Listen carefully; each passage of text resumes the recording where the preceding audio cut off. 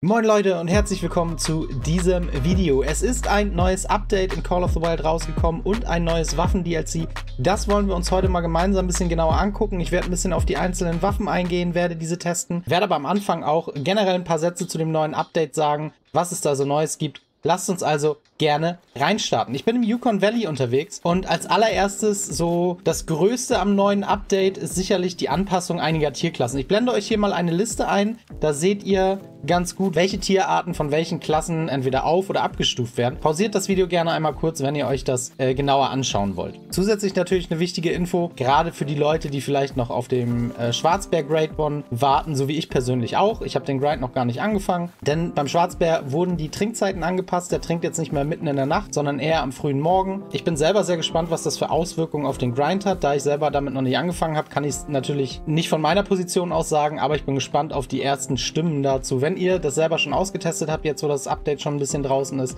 dann schreibt es mir gerne mal in die Kommentare. Ansonsten noch viele, viele Kleinigkeiten, die mit dem Update kamen. Ihr könnt jetzt euer Fernglas zum Beispiel customizen. Ihr seht hier, meins ist schon customized. Äh, das könnt ihr jetzt ganz normal wie mit den Waffen auch euch anpassen, farblich, mit Tarnfarben etc., wie ihr das auch gerne haben möchtet. Ein kleines Zusatzgimmick also. Dazu wurden auch die Revolver überarbeitet. Heißt, die Revolver haben jetzt die Möglichkeit, vor allem ähm, eine Schnellladefunktion zu nutzen. Ihr kennt das sicherlich, wenn ihr die Revolver öfter nutzt und hier ein paar Schüsse abgebt oder auch nur einen Schuss abgebt und dann äh, nachgeladen habt, dann wurde immer das komplette Magazin neu geladen mit einzelnen Patronen. Und jetzt habt ihr vielleicht gerade schon gesehen, wenn ich jetzt auf Nachladen klicke, dann werden komplett alle sechs Patronen direkt mit einem Schnelllader, mit einer Schnellladefunktion ausgetauscht. Ziemlich, ziemlich nice, finde ich. Achso, und äh, der Focoso Revolver wurde auch optisch überarbeitet. Ähm, seht ihr hier nochmal. Ich finde, der sieht jetzt richtig, richtig nice aus. Der war vorher ja, ja einfach matt schwarz und sieht jetzt, finde ich, echt ein bisschen nobler aus. Aber das sind nur so die, ähm, die großen Punkte. Es gibt natürlich auch noch zahlreiche Patch-Notes, die mit dem Update kamen. Lest euch die gerne durch. Aber was natürlich auch rausgekommen ist, ist das neue High Caliber Weapon Pack mit drei richtig knallharten Waffen. Da haben wir zum einen die Jörnberg Pistol, eine Einzelschusspistole mit dem Kaliber 4570, also keinem neuen Kaliber, auch einem,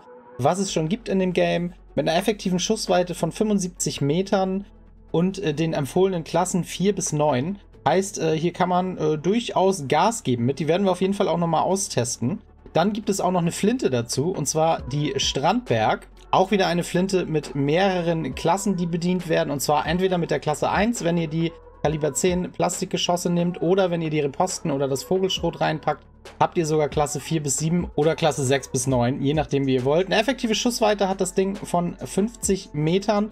Und äh, ich habe gesehen, da vorne sitzen ein paar Enten. Vielleicht testen wir das Ganze gleich mal direkt aus. Aber vorher kommen wir natürlich noch zu dem eigentlichen, wahrscheinlichen Highlight in diesem Pack nämlich der 300er, der Arseiner. Ich glaube, viele von euch haben sich auf diese Waffe am meisten gefreut. Ich persönlich nicht ganz so doll, weil ich diese Optik der Waffe nicht so geil finde in einem Jagdgame. Ich bin auch kein Freund von den Sasa-Waffen. Die sind ziemlich nice, was die Performance angeht und ich bin mir ziemlich sicher, dass diese neue 300er auch das Top-Level sein wird äh, für Klasse 7 bis 9 Tiere. Aber nichtsdestotrotz, optisch gefällt sie mir leider nicht ganz so gut. Dennoch, gerade schon gesagt, Klasse 7 bis 9, effektive Schussweite, 150 Meter und vor allem halbautomatisch. Das kann ein richtiger Knaller werden, werden wir gleich auf jeden Fall bei den Bisons nochmal austesten. Jetzt gucken wir aber mal eben, ob wir hier eine Ente mit der Strandberg killen können. Schreibt mir auch gerne mal in die Kommentare, welche Waffe äh, ihr am coolsten findet. Habt ihr sie schon getestet? Wollt ihr sie noch testen? Findet ihr das Weapon Pack vielleicht gar nicht gut? Findet ihr es mega cool? Ähm, lasst es mich gerne wissen, würde mich auf jeden Fall mal interessieren. So, wir sind schon mal so auf 90, 100 Meter ran hier. Wir haben eine Nullung bei der Strandberg bis auf äh, 75 Meter. Und ich glaube, ich habe auch ein Visier dabei. Ich guck mal eben. Jo, ich habe auch das Flintenvisier dabei. Können wir also auch nutzen. Ich bin mal gespannt. Das Vogelschrot ist drin. Wenn wir jetzt hier gleich mal auf 75 Meter gehen, werden wir es mal austesten. Vielleicht nehmen wir direkt mal die Ente hier. Holen wir mal die Flinte raus und gucken mal. Boom. Wow, äh, wo ist die Ente? Ist sie weggeflogen oder haben wir sie zerfetzt? Okay, getroffen habe ich sie. Oh nein, wo ist die Ente? Ich glaube, sie ist kaputt. Okay, da hinten warten auch schon die Bisons auf uns. Da werden wir gleich auch mal gucken. Aber, hä, wo ist denn jetzt diese Ente? Ich bin ernsthaft irritiert. Ach, die liegt da vorne am Ufer. Okay. Okay, die ist nicht in unsere Richtung geschwommen, sondern die ist einfach nach links getrieben. So, hier ist die Ente. Dunkelgrau, Gold. Ja, schönes Ding. 70 Meter. Passt. Ähm, starten wir jetzt direkt hier mit der 300er. Ich würde sagen, wir starten erstmal mit der Flinte oder machen mit der Flinte weiter. Ich pack mal die andere Munition rein. Und zwar die 6 bis 9er Munition. Und dann werden wir jetzt mal auf die Bisons gehen. Okay, die sind schon wachsam. Ich hole die Flinte raus und wir... Ja, komm, wir gehen mal ran da. Wir lassen die mal weglaufen und dann gucken wir mal, was wir, was wir hier reißen können. Ja, greift mich doch an. Ach, schade, sie greifen nicht an. Sie laufen eher weg. Na gut. Zack. Oh! Direkt umgefallen. Oh! Du auch noch. Oh nein, keine Munition mehr. Jetzt bin ich mal gespannt, wo ich die erwischt. Habe ich die im Herz erwischt? Ah, in der Wirbelsäule. Okay, deswegen ist der sofort umgefallen. Sorry dafür. Aber der erste Eindruck war sensationell von der Flinte, muss man schon sagen. Da haben wir direkt die nächsten. Eigentlich ist das nochmal eine gute Position für die Flinte hier. Komm, dreh dich nochmal.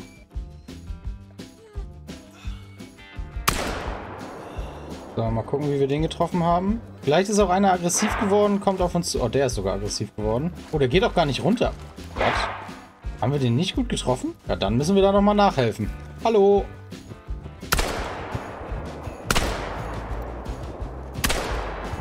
Oh, der steht ja immer noch hier. Was ist denn das hier? So. Okay, der fällt auch um. Ah, der fällt auch um. Gut, gut, gut. Okay, wir müssen mal hier einsammeln. Also wo ging... Oh, der war zu weit vorne. Okay. Gut, aber der zweite war natürlich nice. Schöner Headshot. Sorry dafür. Den hier haben wir auf jeden Fall gut getroffen. Das müsste der hier vorne sein, der dunkle. Jo, da haben wir die Lunge erwischt. Bis, oder bis zum Herz sind wir nicht vorgedrungen. Die Richtung war eigentlich, ja, wobei ein bisschen weit oben, ein bisschen weit links. Aber Lungentreffer und relativ schnell gefallen dafür. Und hier haben wir nochmal den anderen. Da haben wir den Magen getroffen und danach nochmal den Lungenflügel. Ja, zwei Hits. Also geht schon ganz gut rein die Flinte, muss man schon sagen. Und jetzt will ich auf jeden Fall nochmal die 300er testen. Also wir laufen jetzt hier einmal zu dem See, da sind auf jeden Fall auch noch Bisons am Trinken. Und ich will die 300er auch auf alle Fälle nochmal auf die Elche testen. Ich bin ja selbst ein großer Tsurugi-Fan bisher. Aufgrund des Durchschlags und des geringen Rückstoßes. Aber ich glaube, die Asaina wird da noch einiges besser sein. Ich weiß gar nicht aus dem Kopf, was hat die an Durchschlag? Ah ja, stimmt, die hat die ganz normale 42er äh, Durchschlagskraft, ist ja die gleiche Munition. Aber auf den, vor allem auf den Rückstoß bin ich gespannt und auf die Schussfolge. So, da hinten haben wir eine ganze Herde. Da werden wir mal reinspazieren, aber ein bisschen dichter ran gehen wir auf jeden Fall. So, jetzt wird's ernst. 150 Meter, 5 Schuss, wir gehen rein.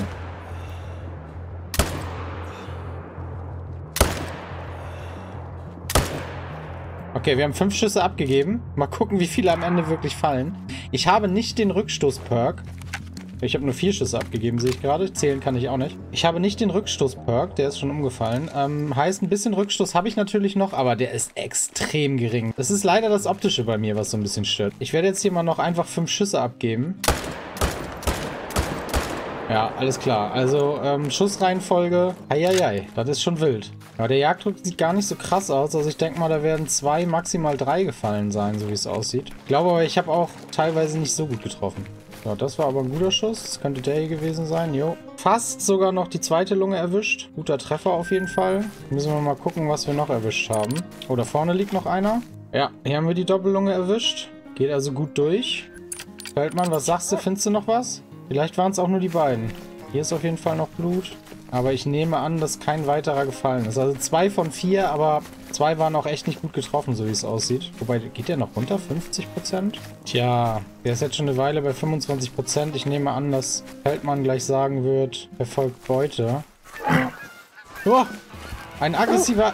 Oh, wir haben die Pistole haben wir noch nicht getestet. Komm mir nicht zu nah. Okay, war der nicht so gut, ja? Fall doch um! Okay, der Elch braucht ein bisschen zum Umfallen. Ja, und das Bison äh, ist leider auch nicht umgefallen. Wie erwartet. Aber der Elch müsste hier irgendwo liegen. Da liegt der Elch. Also auch einen ordentlichen Knall. Hallo? Hä? Ich habe doch das Herz getroffen. Leute, eure Meinung. Herz getroffen oder nicht getroffen? Der ist doch ganz klar drin. Das ist frech. So, aber der zweite Schuss hier, Single-Lunge, bisschen hoch. Passte aber. Gut, ist natürlich 4 bis 9 die Klasse, aber der Elch ist trotzdem einigermaßen schnell gefallen, fand ich. Wir standen natürlich auch sehr dicht dran. So, und jetzt will ich mal gucken, ob wir noch irgendwo den einen oder anderen Elch finden oder vielleicht auch mal andere Tiere, ein bisschen kleinere Tiere, einen Bären oder vielleicht auch einen Wolf. Wolf ist ja inzwischen auch äh, Klasse 7 geworden, glaube ich, wenn ich mich nicht täusche. Von 6 auf 7 aufgestiegen. Was natürlich absolut falsch ist. Ich habe gerade vorsichtshalber nochmal nachgeguckt. Er ist von 5 auf 6 aufgestiegen, nicht von 6 auf 7. Also so ein kleines Zwischenfazit. Ich muss schon sagen, die 300er, auch wenn wir jetzt erst hier 4, 5 Schüsse auf Tiere abgegeben haben. Rückstoß ziemlich nice. Man muss sich natürlich auch erstmal dran gewöhnen, an, an die Bewegung der Waffe. Aber ich glaube, für die Leute, denen die Optik egal ist, die rein auf Performance aus sind, für die ist diese neue 300er auf jeden Fall eine sehr, sehr, sehr gute Alternative zu den aktuellen Klasse 9 oder Klasse 7 bis 9 Waffen. Aber ich glaube, die kann in einem Grind, äh, schon so, so im Elch-Grind gerade oder im Bear-Grind, kann die schon richtig, richtig nice sein. Bei Pistole und Flinte ähm, kann ich gar nicht so krass viel sagen, weil äh, die Leute, die mich kennen, wissen, ich bin gar nicht so oft mit Pistolen und Flinten unterwegs. Ähm, es gab ja schon mal eine Einschusspistole, die Uomo heißt sie, glaube ich mit 243er Kaliber.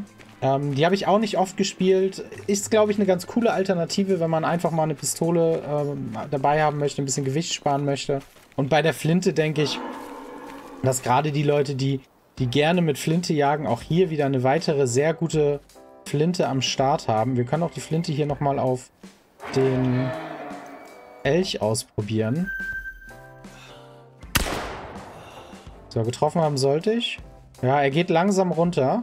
Ich finde auch den Sound der Flinte ganz nice. Also schon, schon eine coole Sache.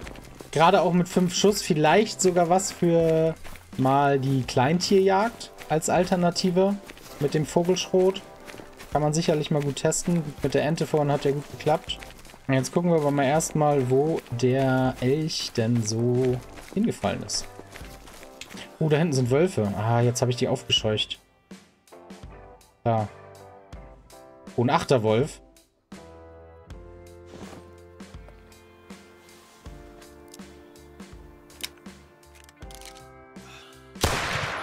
Hit! Ah, guck mal, den haben wir direkt auch nochmal mit der Pistol einen mitgegeben. Muss ich gerade mal gucken, dass ich hier die L-Spur nicht verliere. Was mir gerade schon passiert ist. Fällt mal an. I need you.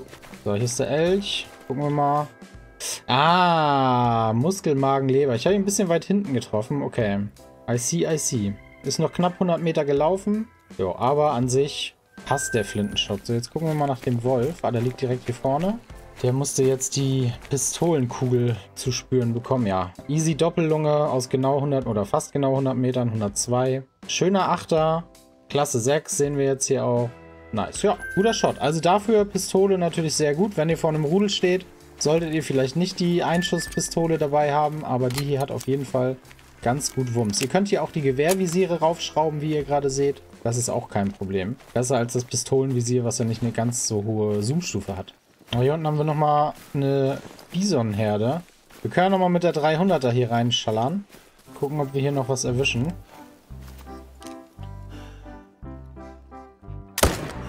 Einmal...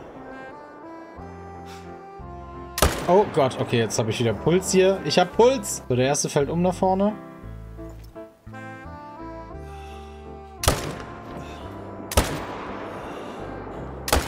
Ich habe leider einen Zitterfinger hier gerade, habe ich das Gefühl.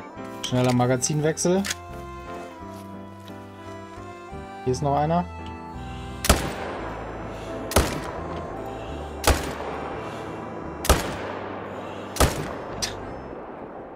Okay, also Leute, so funktioniert das mit der Salve an fünf Schüssen hier. Ey, ich glaube, wenn man den Rückstoß-Perk hat, dann ist diese Waffe wirklich einfach wow. So, ja, easy Doppellunge. Auch relativ schnell gefallen. Und der hier hat ein, etwas mehr als einen Schuss abbekommen. Nämlich fünf. Ah, okay, aber Muskel-Schulterblatt. Nochmal Muskel-Schulterblatt. Leber-Lunge. Irgendwo ein Muskel, wo auch immer. Der Schuss wird nicht mal angezeigt. Und noch einmal in Lungeflügel. Passt. Da vorne liegt auch noch einer. Lunge und Darm. Ist das alles? Ne, hier ist auch noch ein tödlicher Treffer. Irgendwo muss noch einer liegen. Ah, da vorne. So, der dürfte dann ja auch... Ah, der hat einen Lebertreffer erleiden müssen. Okay. So, aber das war's jetzt, oder, Feldmann? Findest du noch eine Blutspur? Ne, sieht nicht so aus. glaube, das passt auch. Da zwei, da zwei, ja. Okay, okay, okay. Ja, also die 300er, stark, stark, wirklich stark. Wir können jetzt mit der Pistole nochmal hier aufs Bison gehen. Hat auch eine Nullung von 200 Metern. Das können wir einfach mal testen hier. Zack, rein. Mal gucken, wie lange der jetzt braucht zum Fallen. 25, ja, es dauert schon ein bisschen, ne? Es geht jetzt nicht schnell. Ja, komm, jetzt mach. Jetzt mach schon. Da ist er. Ja, hat schon gedauert. Also ich glaube, wenn der wegläuft und nicht äh, aggressiv ist und da rumdümpelt, dann muss man den auch schon noch ordentlich hinterherlaufen. Da sind auch noch welche. Ich muss nochmal die 300er benutzen, ne? Ich kann nicht anders.